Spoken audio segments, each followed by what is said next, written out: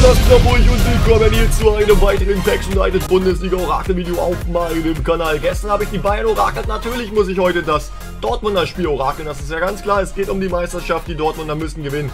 Äh, hier in Augsburg in der WW, äh, WWK Arena. Vier Päckchen sind am Start und ich sage auch, dass die Dortmunder gewinnen werden. Ich sage eine 0 zu 2. Was sagt ihr? Schreibt eure Tipps in die Kommentare. Und dann gehen wir rein ins Orakel und starten mit dem KSC.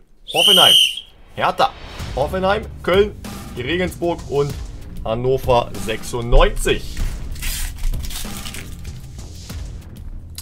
Mainz, Freiburg, Hertha, Hoffenheim, Köln, Freiburg, Schalke. 0-0 nach der ersten Halbzeit. Was ist denn da los?